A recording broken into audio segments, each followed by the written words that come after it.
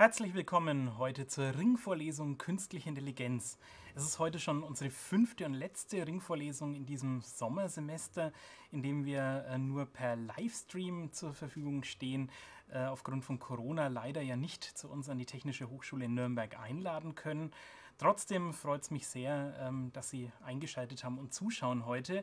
Mich freut es auch sehr, dass unser Gast und Referent heute Professor Dr. Roland Frank von der Media Design Hochschule in München ist.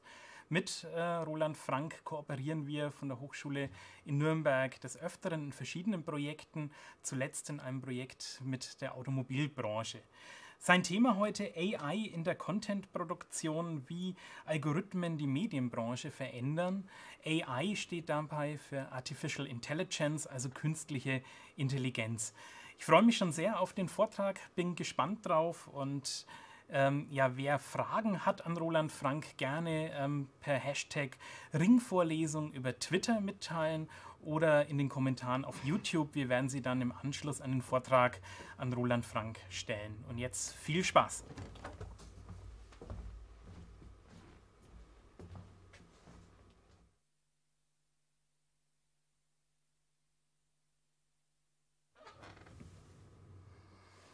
Ja, lieber Markus, vielen Dank. Ähm, ich freue mich sehr, hier zu sein. Große Ehre, heute hier vortragen zu dürfen. Und ähm, die nächsten 60 Minuten werde ich darüber sprechen, wie AI, also künstliche Intelligenz, die Medienbranche aktuell verändert. Und einsteigen möchte ich mit einem Beispiel. Stellt euch Folgendes vor, ihr seid Redakteur bei ProSieben, habt keine Ahnung von Promis und müsst aber auf dem roten Teppich kommentieren. Das heißt, ähm, euch ist die Aufgabe übertragen, letztendlich zu schauen, welche Promis gerade über den Teppich laufen und welche ähm, News dazu ausgestrahlt werden sollen.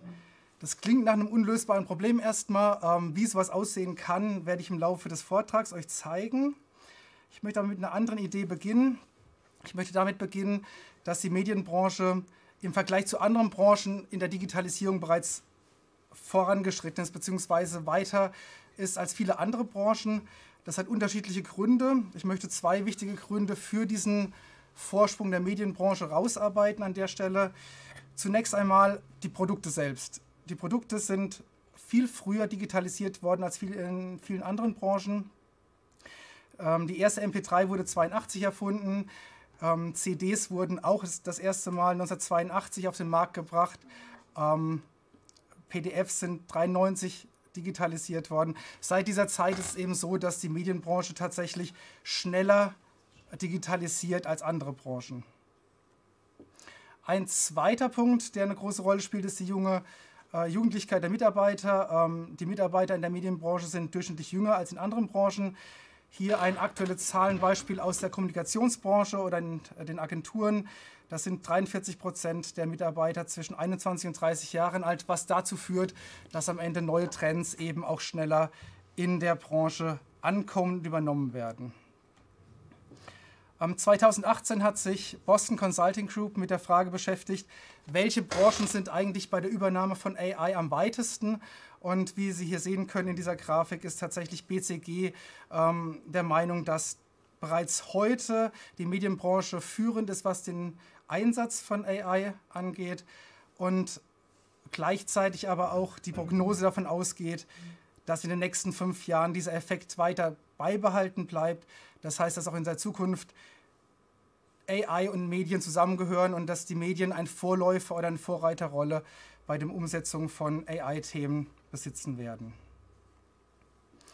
Das heißt, in den nächsten Minuten beschäftigen wir uns mit der Frage, welchen Einfluss haben Algorithmen auf die Veränderung der Medienbranche, ähm, das vor allem aus der Perspektive ähm, der deutschen Medienindustrie, auch mit der Fragestellung, was kann anders gemacht werden, beziehungsweise wie kann es der deutschen Medienindustrie gelingen, ähm, den Rückstand, der teilweise bereits vorhanden ist, wieder aufzuholen.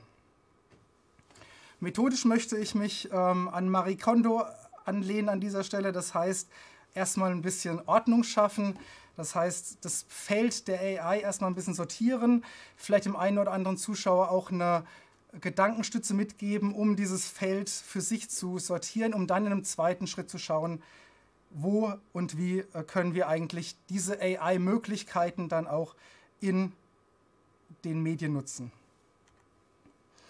Das Problem, das wir haben, ist, dass äh, aller Orten das sogenannte AI Bullshit Bingo gespielt wird. Das heißt, ähm, ganz viele Leute haben ganz viele Ideen und Vorstellungen in ihrem Kopf, was sich hinter AI verbirgt. Und ich glaube, es ist wichtig, dass wir diesen Begriff erstmal kurz und ähm, zielgerichtet auseinandernehmen, bevor wir dann äh, uns mit der Frage beschäftigen, wie eigentlich AI dann in den Medien auch ähm, ankommen kann. Ähm, fangen wir mit der Definition der Frage an. Ähm, Wang 2008 definiert Intelligenz als die Fähigkeit eines Systems, sich an Umwelteinflüsse anzupassen, beziehungsweise an Umweltbedingungen anzupassen und das Ganze bei der Voraussetzung von begrenzten Ressourcen in Realzeit, also in Echtzeit und bei der Gegenüberstellung mit unbekannten Fragestellungen, die bislang nicht aufgetreten sind. Und auf dieser Basis sollen wir oder wollen wir auch ähm, heute die Intelligenzdefinition ähm, betrachten. Ähm, ganz wichtig bei der künstlichen Intelligenz ist, dass wir zwei verschiedene Formate von künstlicher Intelligenz unterscheiden, nämlich die sogenannte General AI und die sogenannte Narrow AI. Ähm, vielleicht kann man das ganz gut äh, erläutern anhand der ähm, Forschungslabore von Google. Google X äh, forscht seit langem an künstlicher Intelligenz und ähm, Google X hat im Jahr 2014 ähm, die britische oder das britische Softwarehaus DeepMind aufgekauft für 500 Millionen US-Dollar und versucht seit dieser Zeit eine neuronale Nachbildung des Gehirns zu bauen. Das heißt, tatsächliche neuronale Netze zu verbinden mit einem Kurzzeitspeicher, um so die echte Funktionalität des Hirns nachzuahmen.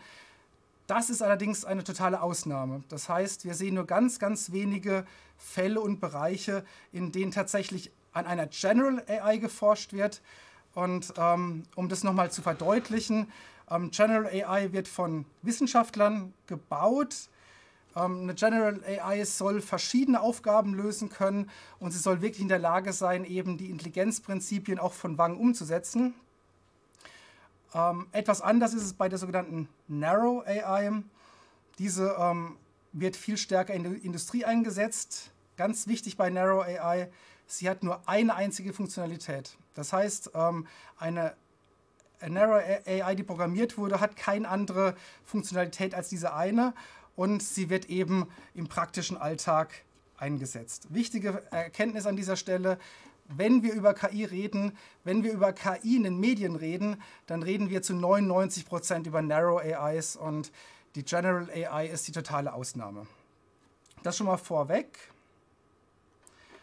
Und um das ganze Feld der Artificial Intelligence noch ein bisschen einzugrenzen, möchte ich heute zunächst den Begriff der, des Machine Learnings ähm, näher spezifizieren, die verschiedenen Arten des Machine Learnings ähm, spezifizieren, um dann den Begriff des Deep Learnings dagegen abzugrenzen. Machine Learning meint zunächst einmal nichts anderes, als dass es eine Reihe oder ein Set von Daten gibt, die in ein System eingegeben werden und die von dem System bearbeitet werden und am Ende ein Ausgabeergebnis herauskommt. Wichtig ist, dass sich die Algorithmen bzw. die Systeme durch die Eingabe verändern. Das heißt, alle Machine Learning ähm, äh, Modelle haben einen veränderbaren Kern. Das heißt, hier ändern sich die Ideen ähm, bzw. die Algorithmen, ähm, die zugrunde liegen. Wir unterscheiden drei klassische Formen des maschinellen Lernens, das sogenannte Supervised Learning, das sogenannte Unsupervised Learning und das dritte ist das verstärkende Lernen. Und ich will jetzt ähm, alle drei Beispiele in den folgenden Minuten ein bisschen aufarbeiten und jeweils mit echten Beispielen aus der Praxis kombinieren, sodass es verständlich wird, wie diese drei Begriffe gegeneinander abgegrenzt werden können. Supervised Learning hat ganz viel mit Menschen zu tun. Das heißt, wir haben zwar eine Dateneingabe, diese Dateneingabe wird aber mit anhand von verschiedenen Features extrahiert und erst dann ähm, an den Algorithmus weitergegeben. Das heißt, der Algorithmus weiß, was er zu lernen hat, gleichzeitig findet auch die Kontrolle durch Menschen statt. Das heißt, sowohl bei der Eingabekontrolle als auch bei der Ausgabe ähm, helfen Menschen dem Algorithmus, sich zu trainieren oder besser zu werden. Das heißt, Supervised Learning wird vor allem für zwei Bereiche der künstlichen Intelligenz eingesetzt, nämlich Klassifikation und Prognose von Eingabedaten. Um das Ganze nicht so trocken ähm, dastehen zu lassen, ein ähm, Programmierer unserer Hochschule hat mir diese Geschichte erzählt. Sie haben Supervised Learning ähm, äh, für das Militär betrieben und sollten sogenannte ähm, Waffenerkundungssysteme programmieren mit Hilfe von Machine Learning Systemen. Ähm, das Interessante bei dieser Geschichte ist, dass ähm, das schiefgegangen ist. Das heißt, die haben immer wieder ähm, dieses Machine Learning System für Waffenerkennung gefüttert mit unterschiedlichen Panzerbildern. Ähm, am Ende war das System dann doch nicht in der Lage, ähm, die Panzer voneinander zu unterscheiden. Was war das Problem? Ähm, die Panzer waren zwar richtig erkannt, das Problem war auf einigen Panzer, auf einigen dieser Bilder waren die Panzer bei Nacht zu sehen, auf einigen dieser Bildern waren die Panzer bei Tag zu sehen und am Ende hat das System nicht den Unterschied zwischen den Panzern gelernt, sondern den Unterschied zwischen Tag und Nacht gelernt.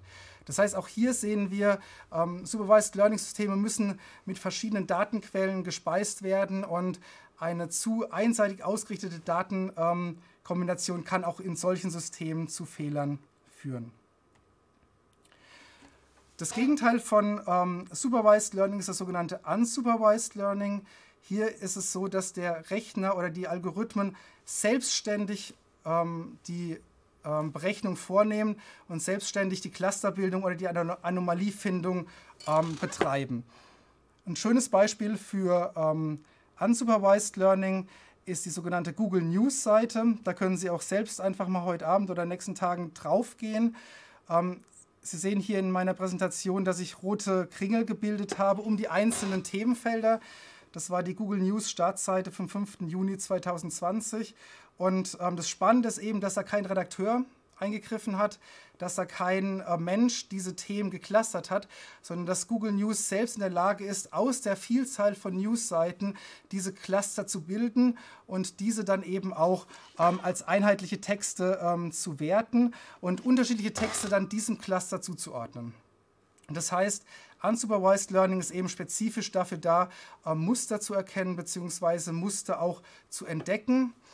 Ähm, das berühmteste aller Unsupervised Learning ähm, Modelle oder ähm, Beispiele dürfte Andrew NG und die Forschungsgruppe um Andrew NG bei Google gewesen sein, der es 2014 gelungen ist, ähm, Katzen aus Katzenbildern zu extrahieren.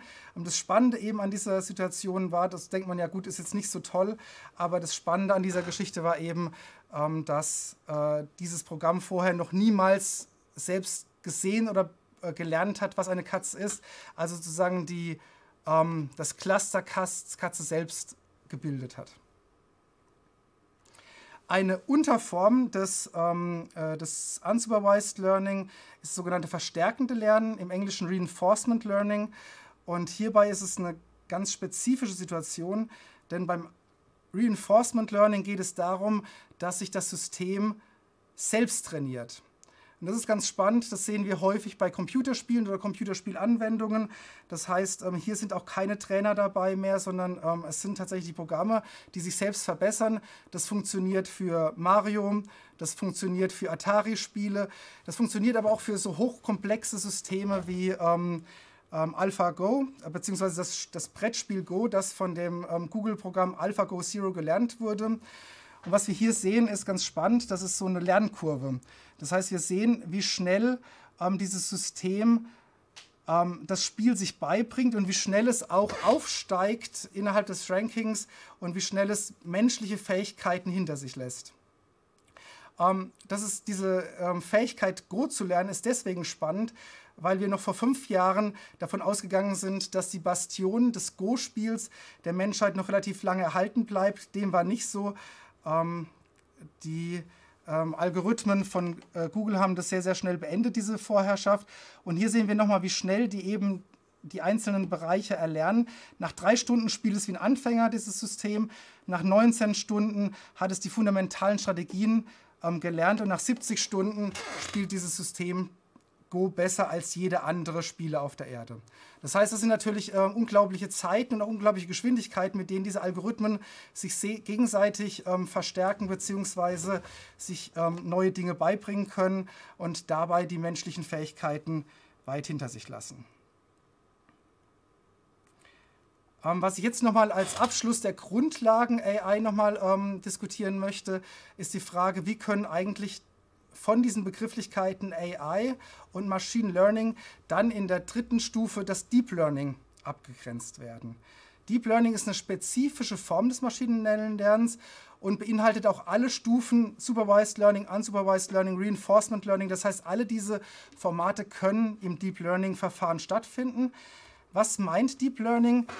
Bei Deep Learning geht es darum, dass wir die Funktionalität des, Netz, des Hirns nachbauen. Das heißt, wir schaffen ein Netz von künstlichen Neuronen, ein künstliches neuronales Netz und verbinden diese Neuronen miteinander und ähm, geben spezifische Eingabedaten in dieses neuronale Netz hinein.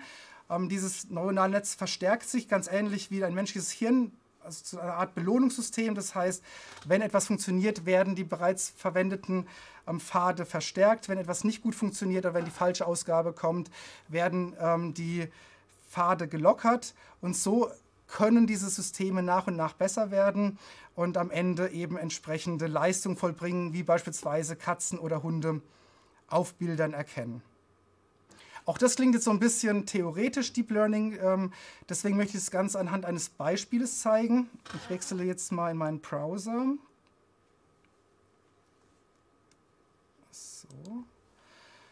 Ähm, was wir hier sehen auf dem Bildschirm äh, ist der sogenannte Playground von TensorFlow.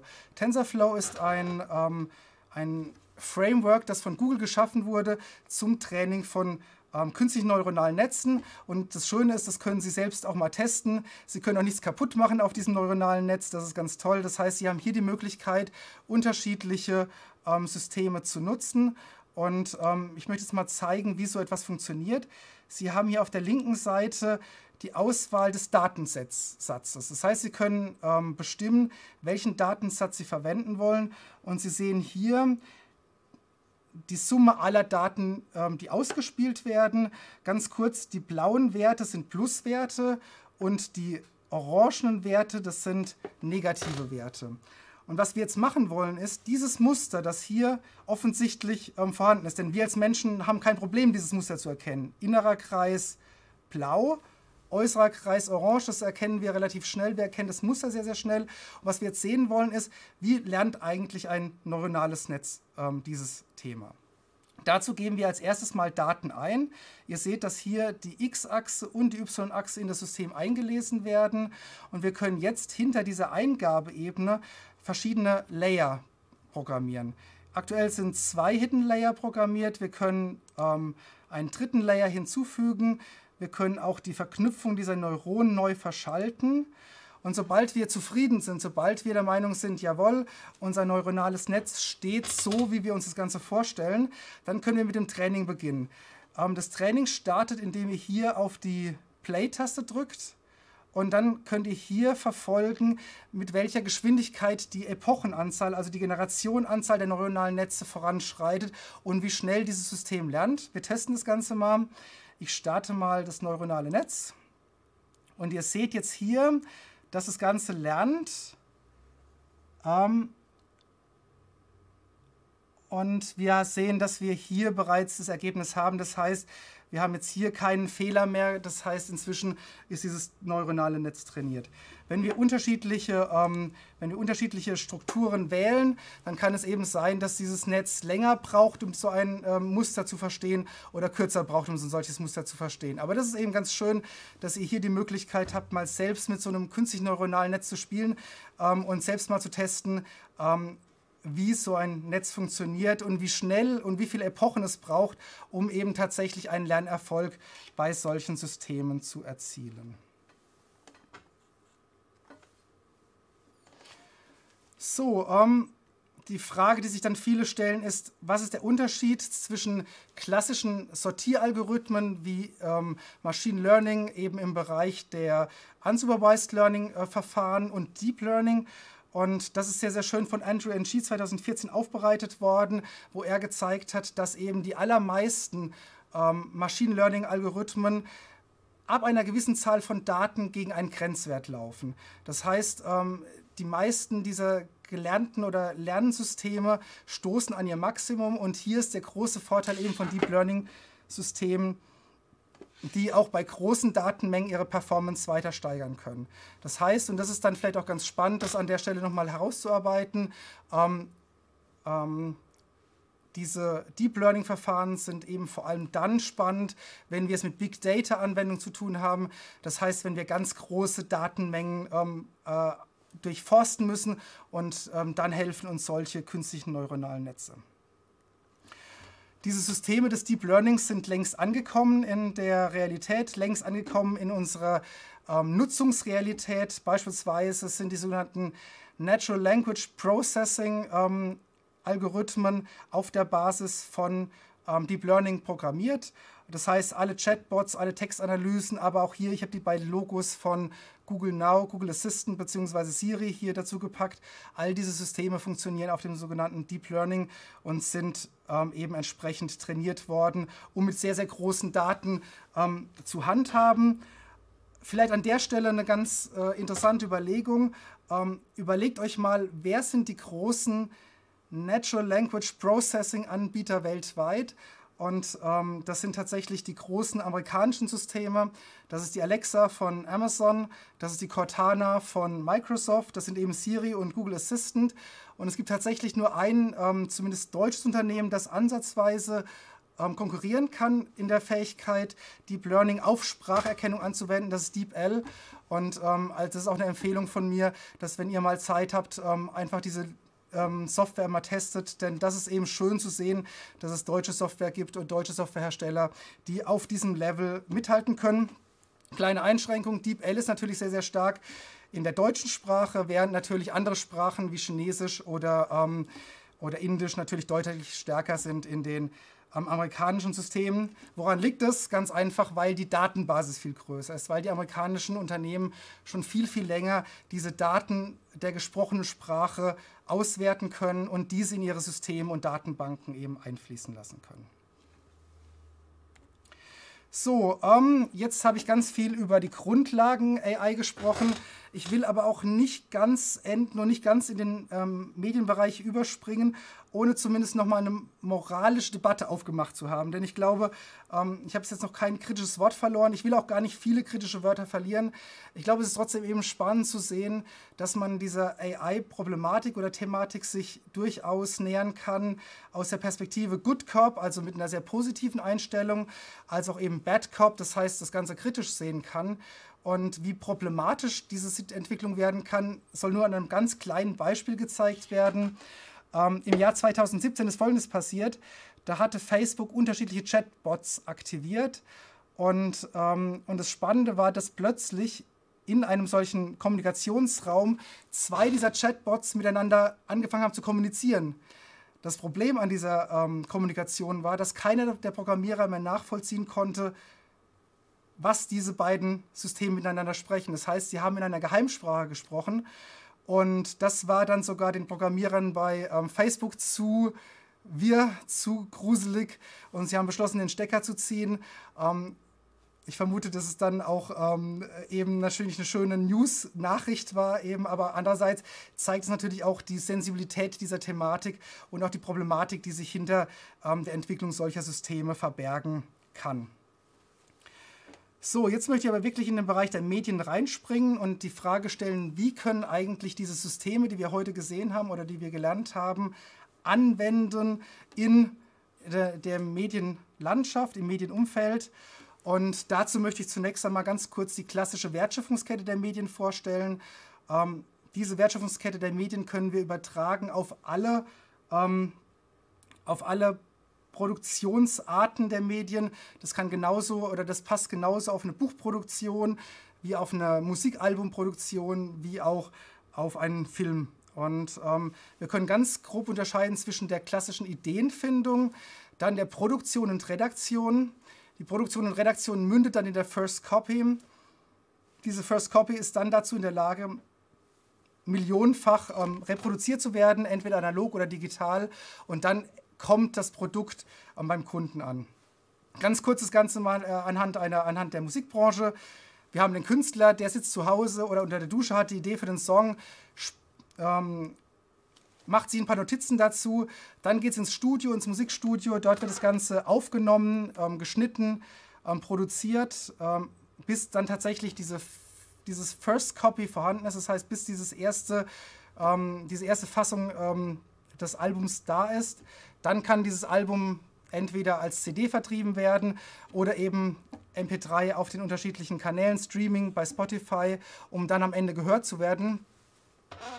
Vielleicht ein, ein spannender Punkt an der Stelle nochmal. Ähm, Konsum gehört bei den Medien notwendigerweise zur Wertschöpfungskette dazu, denn während des Konsums findet auch noch Wertschöpfung statt.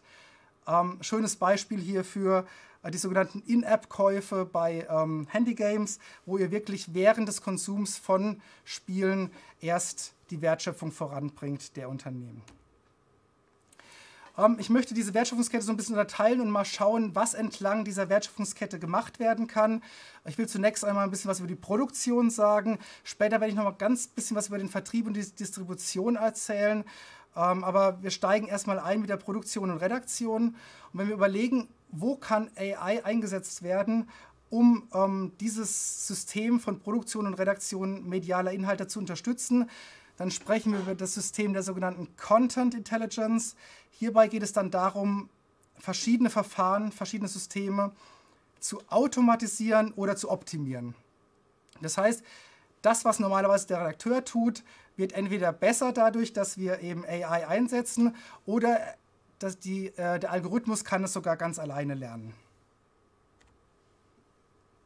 Um das Ganze noch ein bisschen herunterzubrechen, habe ich hier die, äh, die Wertschöpfungskette nochmal in eine kleinere Unterwertschöpfungskette runtergebrochen, nämlich die klassische Nachrichtenproduktion in einem TV-Studium. Das heißt, hier haben wir den Ingest, wo die Daten hin, hineinkommen in das TV-Studio, in die Nachrichtensendung. Dann müssen die erstmal gespeichert und verwaltet werden, diese Daten. Sie müssen dann geschnitten werden. Es muss ein Endprüfvorgang geben, bevor die Nachrichten dann wirklich im TV-Studio oder in den Nachrichtensendungen landen können. Und was ich jetzt zeigen möchte, ist, dass entlang dieser Stufen überall eben AI-Systeme eingesetzt werden können. Ähm, beim Ingest geht es darum, dass wir zunächst einmal überprüfen müssen die Qualität der Dateneingabe. Hier geht es dann darum, beispielsweise Deepfakes zu erkennen bzw. Copyright-Probleme zu erkennen. Ähm, was meine ich mit Deepfake? Deepfake meint beispielsweise veränderte Videos. Das heißt, ähm, inzwischen sind eben AI-Systeme in der Lage zu erkennen, ob ein Video bearbeitet wurde oder nicht bearbeitet wurde. Und solche Systeme können eben dabei helfen, ähm, Fälschungen oder auch Fake News zu erkennen. Ein schönes Beispiel ähm, für, einen solchen, ähm, für ein solches System ist ähm, bei YouTube zu finden. Das ist der sogenannte, die sogenannte Content ID. Das ist eine Software, die als Upload-Filter verwendet wird von YouTube. Das heißt, YouTube baut eine riesengroße Lizenzdatenbank auf, wo alle Lizenzinhaber sich registrieren können und ihre Musikstücke oder ihre Videostücke eben lizenzieren können. Und ähm, sobald ein neues Produkt oder ein, ein, ein User ein neues Stück hochlädt, wird eben mittels dieses, mittels dieses Algorithmus ähm, das Stück abgeglichen mit der Datenbank und ähm, sobald ähm, eben herausgefunden wurde, dass sich herausstellt, ähm, dass es um äh, eine Kopie sich handelt, um ein lizenziertes Werk sich handelt, dann wird dieses Werk erstmal geblockt und der Inhaber de, der Lizenz kann entscheiden, ob er das Werk freigibt oder ob er es vielleicht äh, monetarisieren möchte. Ähm, die zweite Stufe innerhalb eines Fernsehstudios ist das sogenannte Speichern, Verwalten. Hier geht es darum, die einzelnen ähm, Punkte, die einzelnen Inhalte der News zu taggen. Das heißt, wir haben es hier mit Entity Recognition zu tun, beziehungsweise Topic Recognition, also mit der Frage, ähm, welche Inhalte können wir eigentlich ähm, sehen. Und an dieser Stelle kommen wir zurück ähm, zu, den, ähm, zu der Gesichtserkennungssoftware. Genau solche Systeme sind im Einsatz in den ähm, TV-Studios. Das heißt, wir reden hier nicht über ähm, Zukunftsmusik, sondern bereits heute gibt es ähm, bei Cloud-Anbietern wie AWS oder Google Gesichtsdatenbanken, die in den Livestream integriert werden können und die dem ähm, Nutzer des Livestreams zeigen können, welche Personen im Bild zu sehen sind. Und ähm, das Spannende ist, ähm, äh, vielleicht auch für den Praktiker an der Stelle, ist es vielleicht besser an der Stelle ein AWS-System, ein AWS-Gesichtserkennungssystem einzubauen oder sollte man die nicht selbst trainieren? Also ähm, so ein bisschen die Frage, selbsttrainierter Algorithmus gegen, ähm, gegen die Algorithmen, die eben auf den großen Cloud-Anbieterplattformen äh, vorhanden sind. Und das Schöne ist inzwischen, die Antwort ist nicht mehr entweder oder, sondern die Antwort lautet inzwischen, beides ist gleichzeitig möglich. Ähm, denn ähm, inzwischen gibt es entsprechende Media Asset Management Systeme, sogenannte MAMs, ähm, die beispielsweise von ähm, VDSpy VDNet angeboten werden und die es dann eben ermöglichen, ähm, dass der Nutzer entscheiden kann, nutze ich jetzt mein eigenes Gesichtserkennungs- Tool, das ich selbst trainiert habe, also nutze ich meine eigene AI oder greife ich auf die AI von dem amerikanischen Anbieter aus der Cloud zurück oder kombiniere ich sogar die beiden, um am Ende die äh, Effizienz dieses Systems sogar noch zu steigern. Das heißt also, wir haben hier inzwischen sehr, sehr komfortable Möglichkeiten der Datenaufbereitung, der Metadatenaufbereitung, um zu entscheiden, für welches der äh, Algorithmen wir uns am Ende äh, entscheiden. Ein kleiner Hinweis an der Stelle. Ähm, ich finde es total spannend, dass natürlich auch ganz neue Geschäftsmodelle möglich werden. Ähm, ich will an dieser Stelle nur ganz kurz auf ein deutsches Unternehmen hinweisen. Ähm, das ist der sogenannte Sportograph. Und die haben eine ganz clevere Idee, nämlich die gehen mit ihrem System, mit ihrer AI an große Medienveranstaltungen, beispielsweise einen Triathlon oder an große Radwettbewerbe und verbinden Fotografen, die am Rand dieses Turniers oder am Rand der Wegstrecke stehen, mit dem eigenen System und bitten die Fotografen, die Fotos in die eigene Datenbank hochzuladen. Was macht dieses AI-System? Dieses AI-System erkennt die einzelnen ähm, Läufer oder Fahrradfahrer oder Schwimmer anhand der Zahl auf den, auf den ähm, ähm, System. Also hier sieht man es auf dem Bild auf dem ähm, Fahrrad. Das heißt, ähm, es wird ausgewertet, welcher ähm, Sportler gerade zu sehen ist. Dieser Sportler wird verbunden mit der Nummer, die er hat als Teilnehmer. Ähm, gleichzeitig wird, lässt Sportograph noch andere AI-Systeme drüber laufen, beispielsweise ein Test für Schnitt bzw. Bildschnitt bzw. auch Schärfe des Bildes. Und wenn dieses System alle, ähm, oder wenn das Foto alle diese Punkte durchlaufen hat, dann steht es bereit und kann direkt dem Teilnehmer ausgespielt werden. Das ist ganz toll, weil früher hat es eben Tage gedauert, bis die Teilnehmer eines solchen Wettbewerbs die Fotos oder die, die personalisierten Fotos bei sich zu Hause hatten. Heute können Minuten nach dem Event schon ähm, die Fotos an die Teilnehmer eines solchen Triathlon-Events beispielsweise ausgespielt werden. Also man sieht, es sind ganz neue Geschäftsmodelle möglich, die mit solchen AI-Systemen durchgeführt werden können. So, ähm, dann sind wir schon in der dritten Stufe der sogenannten TV-Produktion ähm, und hier sind wir im Schnitt. Ähm, hier reden wir jetzt über Systeme, die ihr vielleicht auch schon kennt, von denen ihr schon gehört habt. Denn inzwischen sind eben Systeme im Einsatz, die einen automatisierten Rohschnitt produzieren können, beziehungsweise auch automatisiert ähm, Texte erstellen können. Hier möchte ich ähm, zwei Unternehmen kurz vorstellen, nämlich zum einen ähm, Wibbits Wibbits ist ein israelisches Unternehmen, das von Bertelsmann aufgekauft wurde. Und es ist total spannend. Auch hier würde ich euch empfehlen, schaut einfach mal in YouTube rein, schaut einfach mal rein in die ähm, Darstellung dieses, ähm, äh, dieses Algorithmus. Denn es ist total spannend. Man macht nichts anderes, als dass man einen Text hochlädt in dieses System. Und wenn dieser Text hochgeladen wird, dann erstellt Wibbits, die Software, automatisiert ein Video dazu. Und das ist natürlich sehr, sehr spannend. Da passieren natürlich auch noch äh, automatische Fehler. Die müssen trainiert werden, diese Systeme. Aber es eignet sich natürlich schon sehr, sehr gut, um einen Rohschnitt zu haben, der dann natürlich von den Redakteuren noch verbessert werden kann. Aber da wird natürlich unglaublich viel ähm, Zeit eingespart. Ein anderes Beispiel für ein solches System ähm, ist AX Semantics. Das ist ein Unternehmen aus Stuttgart und ähm, die betreiben den sogenannten Roboterjournalismus. AX Semantics ist damit beschäftigt, dass sie ähm, ähm, sogenannten Roboterjournalismus für Seiten anbieten. Ähm, um da vielleicht ein Beispiel zu nehmen, stellt euch vor, wir haben eine Wetter-App und diese Wetter-App produziert Texte mit Wetterdaten oder Wetternachrichten für einzelne Städte.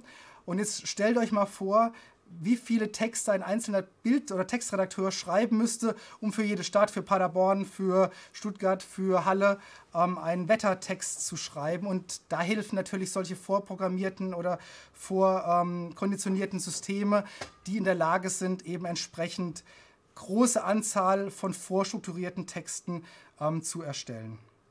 Also ihr seht, ähm, auch im Bereich der automatisierten Nutzung ist längst AI in den Medien angekommen und findet auch längst statt in den Systemen. So, dann sind wir schon in der vierten Stufe ähm, der ähm, Produktion angekommen, dem Prüfend Anreichern. Das heißt, hier geht es dann darum, die bereits geschnittene ähm, Version der Nachrichten nochmal zu checken ähm, hier geht es tatsächlich nochmal darum, Entity Recognition zu machen. Das heißt, haben wir irgendwelche Lizenzen übersehen, die vielleicht eine Rolle spielen, die wir nicht nutzen dürfen? Haben wir vielleicht Marken übersehen, die ausgeblendet werden müssen? Oder Nudity beispielsweise, gab es irgendwelche Nacktheitsphänomene, die eigentlich auch nicht gezeigt werden dürfen? Deswegen ähm, haben wir solche Prüfsysteme. Die ähm, sind auch in der Lage, inzwischen ähm, beispielsweise Untertitel zu erstellen. Ähm, auch hier ganz spannend, das Ganze nochmal aus einem ähm, aus einer Sicht eines Alten oder eines Redakteurs, der vor vielen Jahren vielleicht noch in so einem, in einer Redaktion gearbeitet hat, die haben noch mit Pedalen gearbeitet und mussten dann tatsächlich vor- und zurückspulen bei einer audiovisuellen Datei, um immer den Untertitel einsteuern zu können. Inzwischen können eben solche, ähm, solche AI-Systeme dazu beitragen, ähm, beispielsweise die Untertitel von Nachrichten automatisch zu generieren. Ein schönes Beispiel für ein solches System ist ein ähm, Münchner Startup, die heißen Luminovo AI und die haben beispielsweise in Zusammenarbeit mit Pro7 äh, Sat1 einen Nacktscanner entwickelt, der ihnen erlaubt, ähm, die unterschiedlichen ähm, Grade von Nacktheit, die eben auch äh, für die medienrechtliche Ausstrahlung eines solchen Stoffs wichtig sind, ähm, zu kennzeichnen. Und ähm, diese Systeme sind inzwischen in der Lage, menschliche ähm, Akteure zu ersetzen. Noch sitzen Studenten da, das heißt, noch sind Studenten da, die das, diesen Job übernehmen, aber schon in ein, zwei Jahren können eben solche ähm, AI-Verfahren diese menschliche Tätigkeit ablösen. So, jetzt äh, möchte ich einen Sprung machen, also zurück in die, ähm, in die große Wertschöpfungskette der Medien und nochmal über den Vertrieb und die Distribution, vor allem auch über den Konsum sprechen. Ähm, auch hier gibt es unglaublich viele Anwendungsbereiche. Ähm, der wichtigste Anwendungsbereich ist sicherlich die Werbung, automatisch ausgespielte, automatisch produzierte Werbung, die ähm, personalisiert auf die Bedürfnisse des Kunden angepasst werden. Auch bei diesen Systemen kommt in der Regel Deep Learning zum Einsatz. Ähm, ich möchte aber ein anderes Thema heute anschneiden, nämlich die sogenannten Empfehlungssysteme, wie sie beispielsweise von Spotify eingesetzt werden. Ähm, ich will einen ganz kurzen Blick unter die Haube werfen. Wie funktioniert eigentlich so ein ähm, Empfehlungssystem von Spotify? Ähm, das ist ein sehr, sehr komplexer AI-Algorithmus, der aus verschiedenen Teilaspekten ähm, sich zusammensetzt. Ähm, zum einen das sogenannte Collaborative Filtering. Collaborative Filtering meint, dass verschiedene Nutzer in Cluster sortiert werden und ähnliche Nutzer dann eben verglichen werden. Das heißt, es werden Cluster mit ähnlichen Nutzungsgewohnheiten festgestellt und dann schaut man, kann man aus diesen Clustern heraus dem Nutzer 1 Ideen und Musikstücke von Nutzer 2 präsentieren. Das ist die eine Idee des Filterns. Ähm, die zweite Idee, ähm, die bei Spotify eingesetzt wird, um eben ähm, solche Filter zu betreiben, ist das sogenannte Content-Based Filtering. Hier geht es darum, dass Inhalte aus den Musikstücken heraus ähm, ähm, ausgelesen oder ausgewertet werden und auf dieser Basis dann eben ein Nutzerprofil erstellt wird. Das heißt, man kann sagen, der Nutzer hat eine Tendenz dazu, eher emotionale Stücke oder vielleicht eher ruhige Stücke zu hören und ähm, bekommt dann eben auch entsprechend emotionalere oder ruhige Stücke gezeigt. Das Ganze kann dann auch nochmal im Zeitablauf oder im Tagesablauf gegengecheckt werden. Das heißt, vielleicht bekommt ein Nutzer dann eben ein anderes Musikstück am Vormittag als eben am Abend, wenn er nach Hause kommt. aus diesen verschiedenen Formen, die zusammenspielen, ergibt sich dann ein Gesamtalgorithmus. Ähm, das ist ganz spannend. Hier sehen wir den mal in visueller Form. Das heißt, einem englischen Musikjournalisten ist es gelungen, der hat die Erlaubnis bekommen, dass er eben ähm, seinen Algorithmus mal oder seinen eigenen Musikgeschmack mal visualisiert bekommt. Leider hat sich Spotify nicht durchringen können, bislang diesen, diese Visualisierung der Allgemeinheit anzubieten. Aber es ist eben ganz spannend, dass man eben sehen kann hier, wie ähm, ein Musikgeschmack ähm, dann eben ausgewertet werden kann und wie auf der Basis eines solchen Bubbles oder auf der Basis eines solchen Datenwerks dann eben neue Musikstücke jeden, jede Woche für den Nutzer eingespielt werden können. Ähm, an der Stelle möchte ich nochmal äh, auf ein Problem hinweisen, das viele deutsche Medienunternehmen belastet. Denn ähm, vielen deutschen Unternehmen fehlt an dieser Stelle einfach der Kundenzugang. Also ähm, wir haben ja gerade gesehen, im Content-Bereich ist es kein Problem. Im Content-Bereich gehört ja, da stehen eben die, ähm, die Inhalte den, ähm, den Unternehmen zur Verfügung. Das ist eben häufig nicht der Fall, ähm, wenn wir über die Kundendaten sprechen. Einfaches Beispiel, denkt an die TV-Branche. Die TV-Branche in Deutschland ähm, sitzt oder arbeitet auf dem Prinzip des linearen Fernsehens und lineares Fernsehen hat eben keinen Rückkopplungskanal in den meisten Fällen zum Nutzer. Ähm, das ändert sich gerade sukzessive. Wir haben eben inzwischen die Möglichkeit des sogenannten Addressable TV, wo der Kunde eben personalisiert angesprochen werden kann, auch personalisierte Werbung ausgespielt wird wo eben auch Kundennutzen aufgezeichnet wird, aber das steckt eben noch in Kinderschuhen. Das heißt, da fehlen eben vielen TV-Sendern bis heute die Datensätze. Gleiches gilt für die Musikbranche. Ähm, die Daten landen eben bei den großen Plattformen, sei es Amazon Prime, sei es in dem Fall ähm, Spotify, und sie landen eben nicht bei den ähm, Herstellern oder bei den Betreiberfirmen bzw. bei den Musikverlagen. Also insofern ist es eben hier wichtig zu verstehen, auch für die deutsche Medienbranche, sich mit der Frage auseinanderzusetzen, wie kommen wir eigentlich an die Kundendaten, um entsprechende Geschäftsmodelle betreiben zu können. Ähm, so, jetzt möchte ich zum Abschluss nochmal über die Königsdisziplin sprechen. Das heißt, wir haben über Content bzw. Production ähm, Intelligence gesprochen, wir haben über ähm, auch Vertriebsintelligence gesprochen. Und was ich jetzt nochmal ähm, darstellen möchte, ist das sogenannte Business Intelligence. Hier ist die Idee folgende, nämlich dass aus allen Stufen der Wertschöpfungskette eben entsprechende Metadaten gezogen werden. Und erst wenn wir alle Datensätze miteinander ähm, verbinden, erst dann entstehen tatsächlich Daten, die wir auch als Unternehmen vernünftig auswerten können. Ähm, das heißt, richtig spannend wird es tatsächlich erst, wenn wir alle Daten-Touchpoints entlang der Wertschöpfungskette miteinander verbinden und daraus entsprechende Analytics bzw. entsprechende Prognosen stellen können. Das wird in der Regel von sogenannten Assistenzsystemen ähm, gemacht. Da möchte ich auch ein paar davon vorstellen, damit ihr da mal einen Eindruck habt, in welche Richtung solche Assistenzsysteme inzwischen ähm, gehen. Ähm, eine Möglichkeit sind sogenannte Management-Dashboards. Beispielsweise hat RTL ein System entwickeln lassen, bei dem vorhergesagt werden kann, wie viele Zuschauer am nächsten Tag ein bestimmtes Programm einschalten werden. Und diese Systeme werden natürlich immer weiter trainiert. Und ähm, das ist natürlich sehr, sehr spannend, weil das, da steckt natürlich tatsächlich ein Geschäftsmodell für RTL dahinter.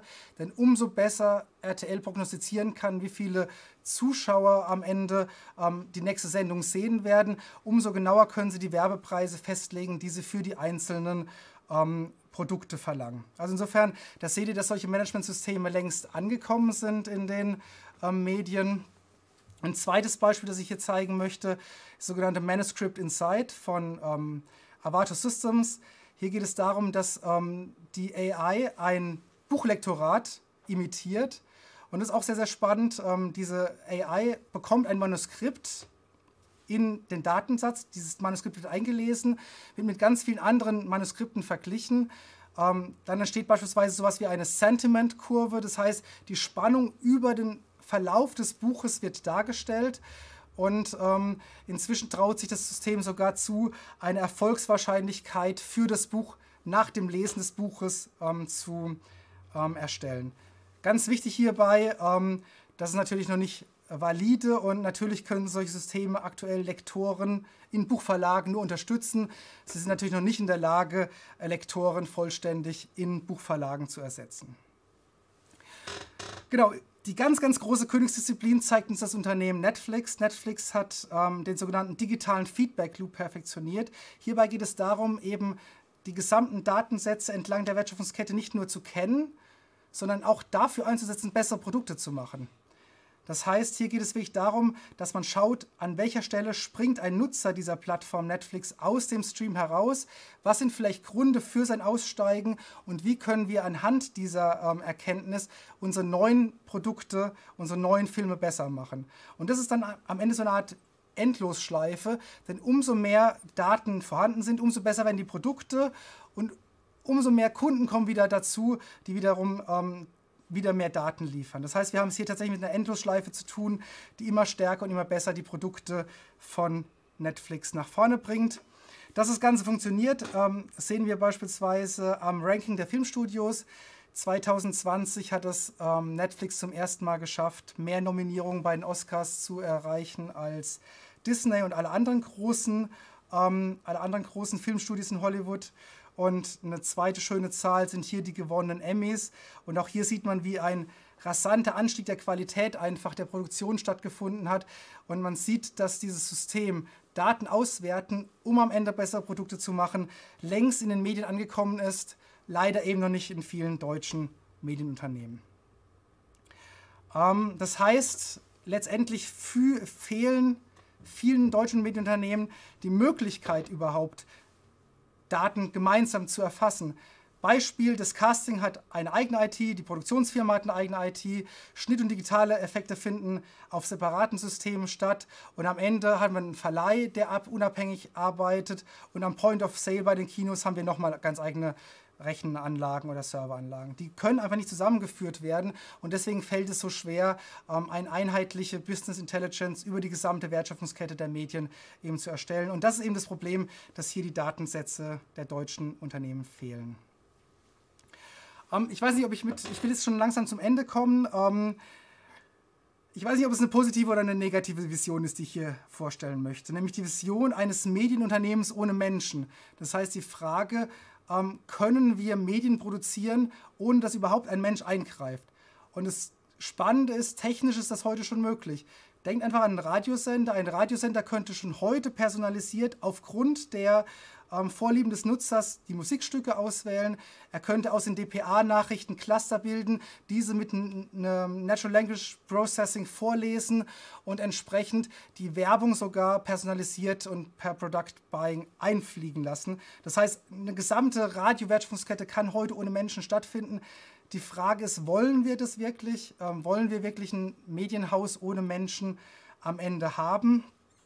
Ähm, vielleicht um das Ganze positiv zu drehen, und das ist vielleicht eine ganz, das ist vielleicht eine schöne, ähm, eine schöne ähm, Pointe an der Geschichte, in der berühmten äh, Studio von Frei ähm, 2014, bei der es um die Berufschancen geht und die Frage, wie Digitalisierung eigentlich die Berufschancen von verschiedenen Berufen verändern wird in der, in der Zukunft, ähm, stellen wir eben fest, dass ähm, spezifisch die Medienberufe sehr, sehr gute Chancen haben. Denn ähm, hier haben wir es eben mit Job, äh, Jobs zu tun, die noch lange kreativ sein müssen, die noch lange nicht in Algorithmen gepackt werden können. Und deswegen gehen die Autoren der Studie davon aus, dass viele der ähm, Medienjobs auch in der Zukunft noch ähm, sehr, ähm, sehr wichtig sind, Menschen in diesen Jobs sehr wichtig sind. Und das ist eben ganz spannend, dass wir hier eben die Situation haben, dass auf der einen Seite AI in den Medien so weit fortgeschritten ist wie in keiner anderen Branche, auf der anderen Seite aber eben ähm, trotzdem die Jobs in der Medienbranche sicher sind. Okay, ich will noch mal ganz kurz zum ähm, Abschluss noch mal die Lessons Learned zusammenfassen. Ich glaube, wir haben gesehen, die Medienbranche ist viel weiter als, ähm, als viele andere Branchen.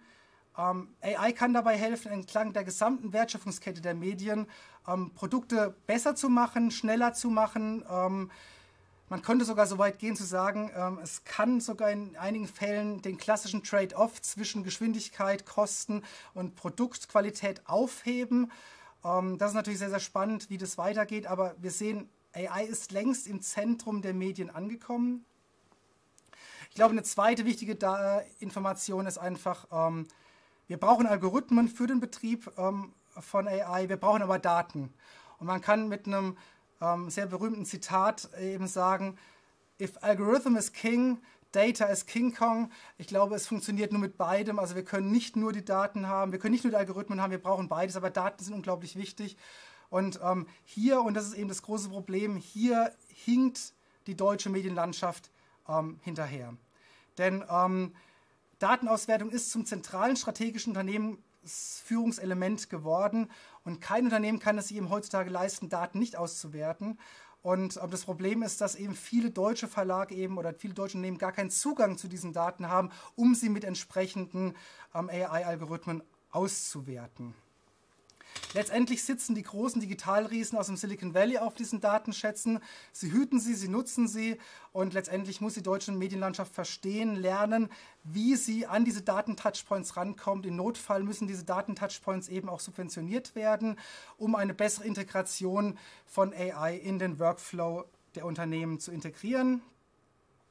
Das heißt, letztendlich braucht es eine kohärente Digitalisierungsstrategie und wie so eine Digitalisierungsstrategie für ein Unternehmen aussehen kann, könnt ihr auch nochmal in meinem Buch nachlesen. Ähm, das ist sehr spannend. Da geht es um Cloud-Transformation, die Frage, wie bringen wir eigentlich die digitale Transformation in die Unternehmen hinein? Und ähm, genau, das wäre mein Schlusswort an dieser Stelle. Ähm, ich sehe auch schon, dass Markus so ein bisschen mit den Hufen schart. Das heißt, ich glaube, es sind auch Fragen vielleicht aufgelaufen von den, ähm, von den Nutzern und ich würde dann ähm, jetzt einfach damit beginnen. Ja, vielen Dank, äh, Roland. Ähm, tatsächlich sind einige Fragen gekommen via Twitter über den Hashtag Ringvorlesung und auch in den YouTube-Kommentaren. Es können auch noch weitere natürlich gerne dazukommen. DigiTeach fragt, äh, wenn eine AI Texte generiert, zum Beispiel journalistischen Content, wem gehört dann der Content? Es gibt ja keinen Autor mehr. Und vielleicht äh, da noch äh, dazu, Stefan Willecke ergänzt, ob die VG Wort dann den Programmierer begünstigt? Fragezeichen. Ja, das ist eine interessante Frage. Tatsächlich ist es so, dass ähm, AX Semantics natürlich als Besitzer des Algorithmus erstmal natürlich das Lizenzrecht hätte, aber dieses Lizenzrecht natürlich mit dem Abschluss des Vertrages oder mit der Installation der Software abgibt. Das heißt, die Rechte an, der, ähm, an den Texten liegen bei den Verlagen. Ähm, ich glaube allerdings nicht, dass die VG Wort tatsächlich da eine äh, Schippe mitsprechen kann, denn es gibt ja niemanden, der ähm, da wirklich ähm, am Ende ähm, lizenziert werden kann. Das heißt, es wäre wär aber eine spannende rechtliche Frage, inwieweit die VG Wort das bereits ähm, auf dem Schirm hat. Dann eine weitere Frage. Was sind deiner Ansicht nach derzeit die interessantesten Forschungen in diesem Bereich? Also bezogen jetzt generell auf AI in der Content-Branche oder gibt es noch offene Forschungsfragen? Also wenn wir fragen, wohin die Reise geht, dann ich glaube, wo, was wir sehen ist, dass wir am weitesten von den Algorithmen definitiv in dem Bereich der Texterkennung, in der Spracherkennung sind. Das heißt, ähm, NLP-Programme sind aktuell die weitesten. Ähm, ganz spannend, vielleicht jetzt ähm, aktuell ähm, hat äh, Google eine neue NLP-Algorithmus vorgestellt, der heißt BERT. BERT analysiert Sprache nicht nur von vorne nach hinten, sondern auch von hinten nach vorne und kann damit ähm, tatsächlich noch viel effizienter ähm, einzelne Sprachelemente erkennen und ist sozusagen State of the Art. Ich glaube, dass Video- und Bilderkennung hinterherhinken. Das heißt, dass wir einfach bei den Texten weiter sind als bei Video und Bild. Aber klar ist natürlich, dass Video und Bild ähm, entsprechend Fortschritte machen. Ich glaube allerdings auch, dass wir natürlich große Fortschritte sehen werden, wenn wir die Rechenleistung in den nächsten Jahren steigern können. Und da natürlich, Markus weiß natürlich auch Quantencomputing die Frage, ähm, wird es noch in diesem Jahrzehnt uns ereilen oder wird es in diesem Jahrzehnt spannend werden? Aber ich glaube, dass da natürlich unglaubliche Sprünge auch in diesem, in diesem Bereich möglich sind. Unser Kollege Professor André Haller von der Fachhochschule Kufstein äh, fragt, ich kenne das Beispiel mit, dem, mit der Manuskriptanalyse und habe mich immer gefragt, kann das nicht dazu führen, dass Autoren dann algorithmusgerecht schreiben bzw. Schulungen in diesem Bereich boomen? Ja, das ist eine sehr, sehr interessante Frage. Und ich habe es, glaube ich, vorhin schon angedeutet. Ich glaube, dass wir einen echten Lektor nicht ersetzen können aktuell. Das heißt, diese Systeme können nur Hinweise geben. Und ich glaube, diese Systeme können aktuell nur dabei helfen, vielleicht eine erste Vorsortierung von äh, Texten zu machen. Und ähm, die Gefahr, dass dann am Ende Autoren hinschreiben auf den Algorithmus, das kann, das kann schon sein tatsächlich. Und ähm, dass es wie eine mainstreamigere Form von, ähm, äh, von Medien erhalten. Ich glaube, das, ist ein, das ist ein großes Problem. Vielleicht da ein schönes Beispiel. Netflix beispielsweise macht ja die sogenannten A-B-Testings und mit den A-B-Testings wird herausgefunden, welche, ähm, welche Bildinhalte beispielsweise die einzelnen Serien ankündigen. Und es ist sehr spannend, dass die immer ähnlicher werden. Wenn ihr mal auf Netflix drauf guckt, diese kleinen, ähm, diese kleinen Touch- Buttons mit, mit Bildinhalten, die werden sich immer ähnlicher und haben immer eine immer ähnlichere Bildsprache. Und da sehe ich schon eine große Gefahr drin, dass wir durch, ähm, durch eine ähm, Streamlining der, der ähm, Algorithmen am Ende Vielfalt in den Medien auch verlieren. Dann haben wir nochmal DigiTeach. Ähm, wurde House of Cards nicht auf Basis einer Beliebtheitsskala in Netflix erstellt? Ja. Also beliebtes Thema kombiniert mit beliebten Schauspielern etc. Das Drehbuch wurde noch manuell geschrieben? Ja, das ist tatsächlich so. Also zumindest ist das das ist Posterboy-Beispiel von Algorithmuseinsatz in der Medien-Content-Produktion. Ähm, das war ja am Ende für, ähm, für Netflix war es eine 100 Millionen Dollar Wette, denn es war ein Produkt, an das viele Studios nicht geglaubt haben, in das viele Studios nicht reinsteigen wollten. Aber Netflix hat eben gesehen, Politthriller zusammen mit einem heute nicht mehr so ganz beliebten Kevin Spacey, ähm, zusammen mit dem Thema Weißem Haus funktioniert. Und es, ist, es gibt tatsächlich einige Publikationen auch zu der Frage, ähm, wie ähm, Netflix vor, dem, ähm, vor der Entscheidung diese Daten ausgewertet hat und es sozusagen als Wette eingegangen ist, bevor sie überhaupt ähm, wussten, ob es dann funktioniert beim Kunden oder nicht. Und insofern, ja, das ist ein Traditionsbeispiel. Ja, dann sage ich herzlichen Dank an Dankeschön. Professor Roland Frank von der Media Design Hochschule in München für den spannenden Einblick in AI in der Content-Branche, im Content-Bereich. Ähm, ich sage Dankeschön fürs Zuschauen bei der Ringvorlesung Künstliche Intelligenz der TH Nürnberg. Weiter geht es bei uns wieder im Wintersemester ab Oktober ähm, mit der Ringvorlesung Medien und Daten. Zum Auftakt haben wir dann Saim Alkan von Ike Semantics in Stuttgart. Der kam heute ja schon mal vor in Roland Franks Vortrag zum Thema Roboterjournalismus. Wir werden aber auch im Wintersemester das Thema digitales Marketing mit Daten haben. Da wird Professor André Haller von der Fachhochschule Kufstein unser Gast im Oktober sein und äh, Themen natürlich Datenjournalismus und Co. Also Medien und Daten ab Oktober. Wir hoffen, dass wir Sie dann auch wieder in den Hörsaal einladen dürfen. Ähm, auf jeden Fall, das können wir sicher zusagen, die Ringvorlesung auch im Wintersemester live auf YouTube. Dann nochmal herzlichen Dank fürs Zuschauen, schönen Abend und bis bald. Ciao.